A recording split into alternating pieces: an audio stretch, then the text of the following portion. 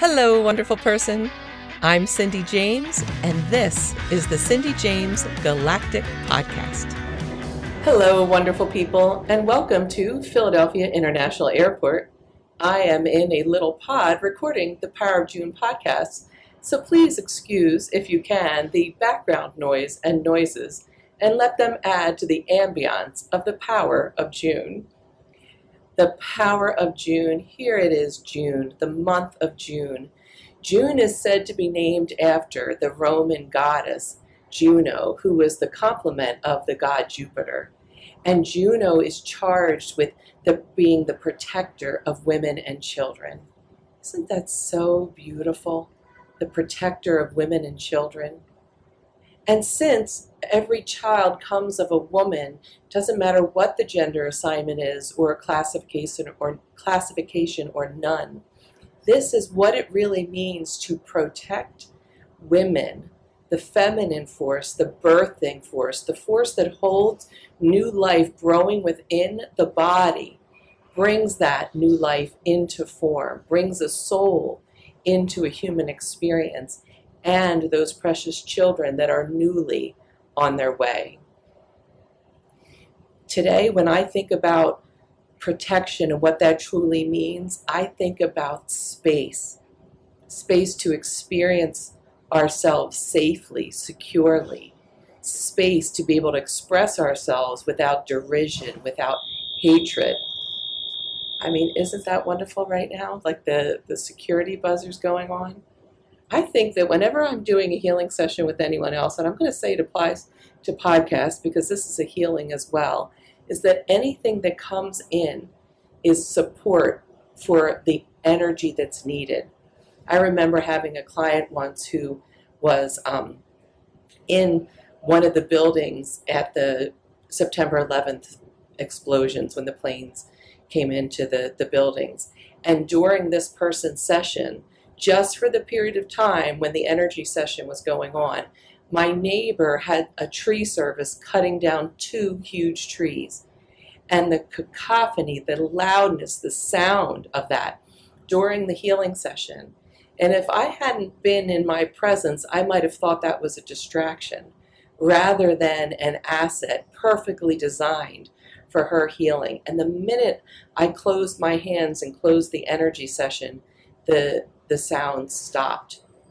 That happened so many times. So even in that moment when the buzzer went off, when I was talking about the space to feel secure and safe, can you in this moment take some breaths into your body and find out what feeling safe and secure feels like to you?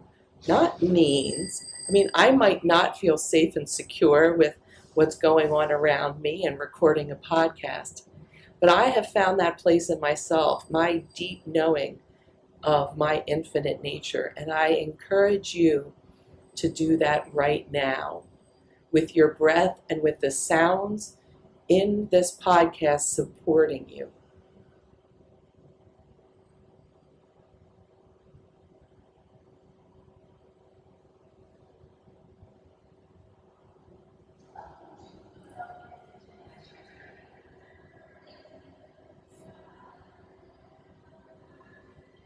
And then taking some deep breaths. If it hasn't been that easy for you to find that deeper, secure, safe place in yourself, imagine how hard that might be for someone who um, has experienced something extraordinarily violent or traumatic, or is living in a war zone, or has just had their classmates murdered by gun I, I share this with you not for the shock value of it or to intensify the pain of it, but to highlight that it is possible for us to actually serve and transform the underlying energies that cause these events by first finding out how to feel secure and safe and to have space to experience ourselves, to experience ourselves with childlike wonder with great faith in the grown ups around us or the others around us,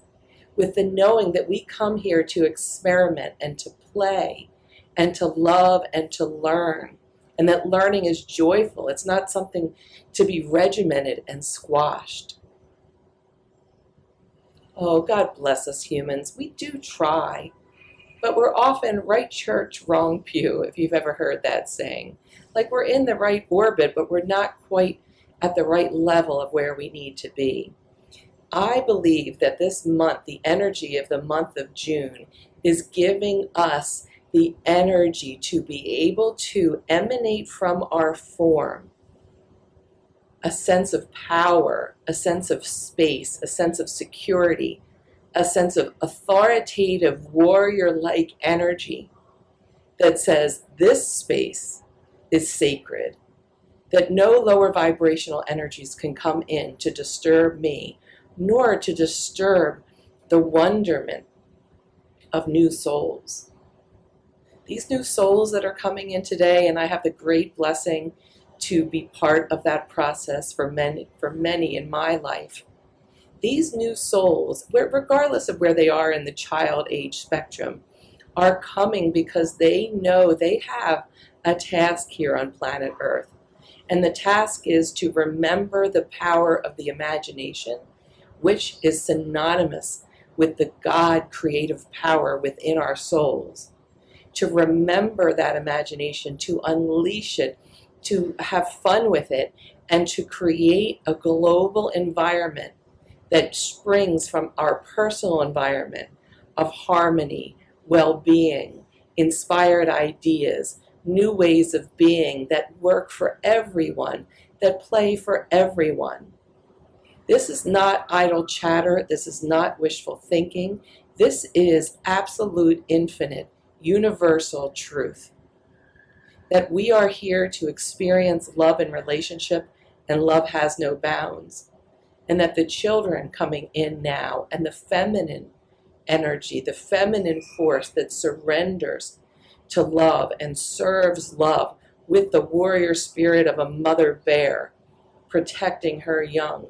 That in the month of June, whenever it is you're listening to this, you can access that power of the energy known as the goddess Juno, the, the protector of women and children, who was the complement to the god Jupiter. And Jupiter is the, the energy of expansion and all things possible.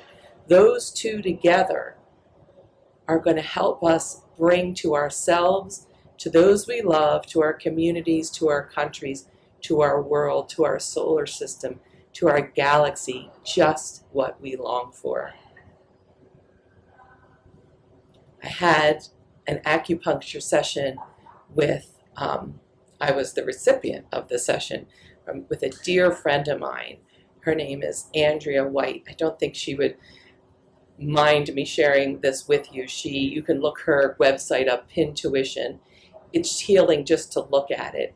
She does all sorts of modalities. She's worked with people with addictions. She's worked with people who are in the grieving process. She does amazing healings um, for families and friends that have gone through loss in something called Resonant Gathering.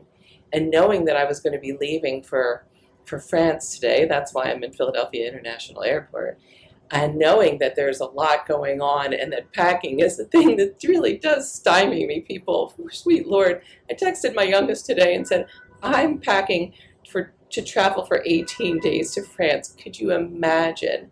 And my youngest said, Oh, Lord, Mom, just take it all. I can't imagine what your apartment looks like.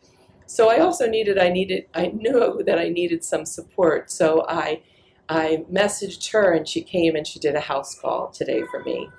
And she was feeling my energies, taking my pulse, feeling different points, talking about what I wanted to work with.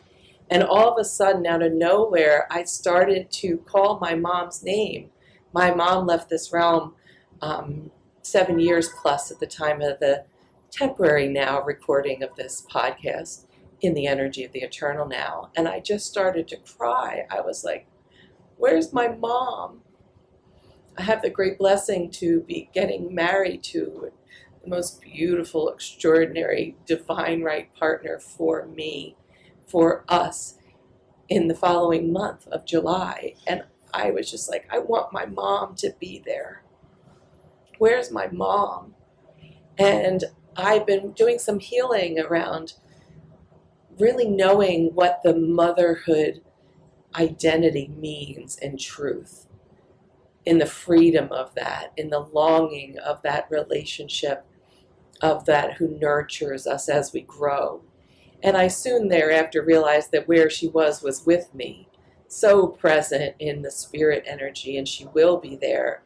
And Andrea shared with me, because she's a young mom, her youngest, I got to be present for her birth as well and of course be present in the energy of both of her pregnancies.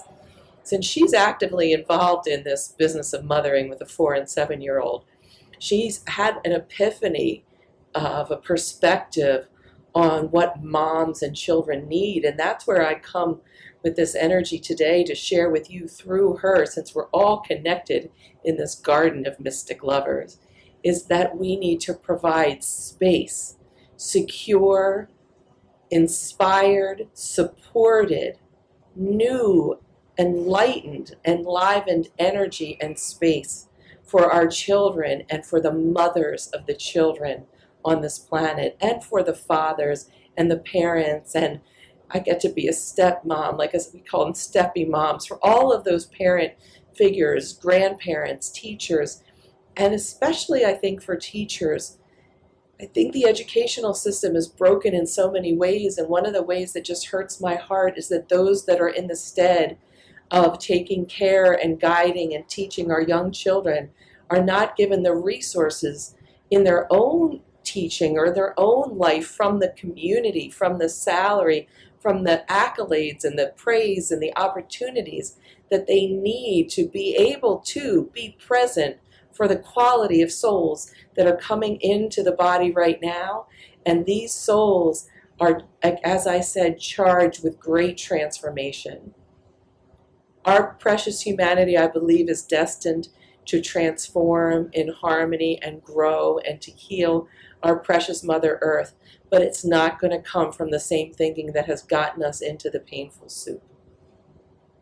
So I offer this month of June healing also for the teachers, for the guides, for the parents, for all of those that have the responsibility, the ability to respond to the youth of today, to give them space to find their connection to their infinite self, their secure self, their safe self, their unleashed imagination.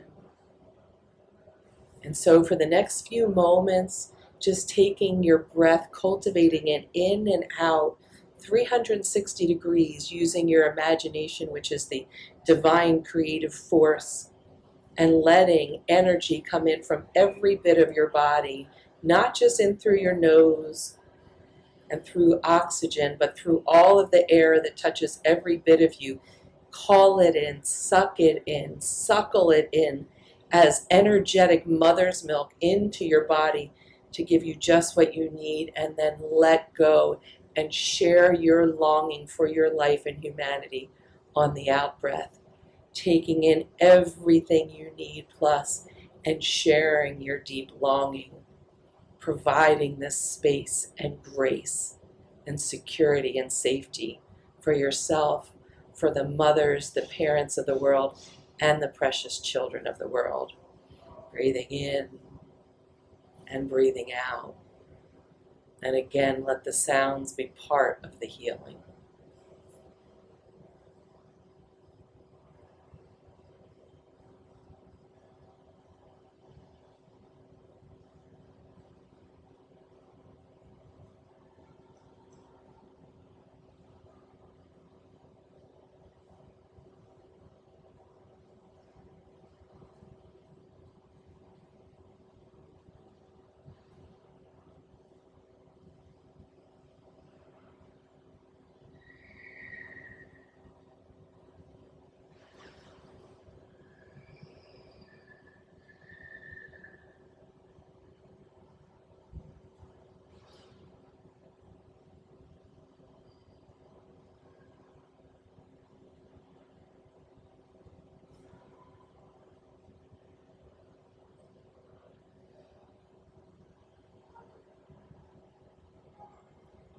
And if you're deep in meditation, you can just pause this and continue.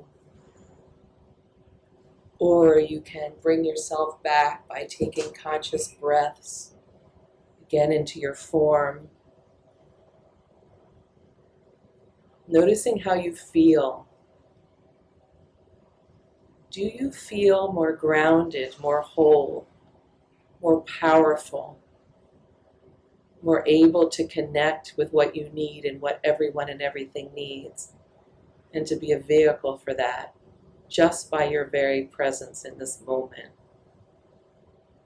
I tell you, with all the authority vested in me by the infinite nature of love, you are that and more.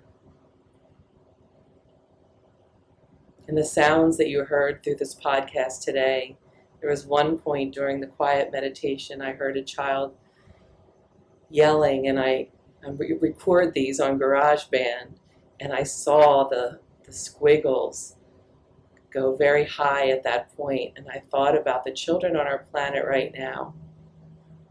And even your child traveling through the eternal now into the past that needs a force that says, I'm here, I see you, I'm with you be you, be yourself. There's a movie called, I think it's called Just Maybe, with Ryan Reynolds and Anna Faris. And the mom, I think her name is Lorraine, she was on Saturday Night Live and she's the mom in that. And she was also in Airplane. I think her first name is Julie in real life. Well, she sings this song to Ryan Reynolds and my dear friend Gary, who skedaddled last year, my best friend's husband, he loved that movie, and they all love the family. the family all loved it, and so did I. When she sings to him, "Be yourself, be yourself," and I just say, let's let's sing that to one another. Be yourself, not who we want them to be, because when we really are our true selves, that harm and hurt that we see happening dissolves. Happy people don't hurt others. People who feel free to be themselves don't isolate or cut others out or act in ways that perpetuate the delusion that there's not enough for all of us to eat and breathe and drink healthy water, air, food, and experiences.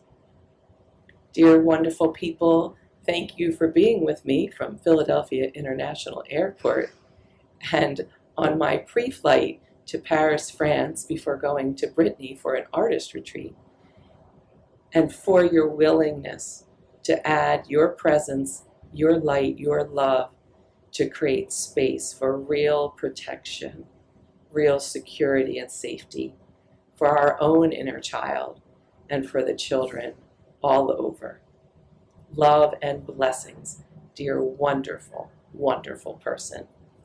Mwah. If you enjoyed this episode, wonderful person, and you'd like to share the love, the power, and the possibilities, please post about it on social media and share it with your people.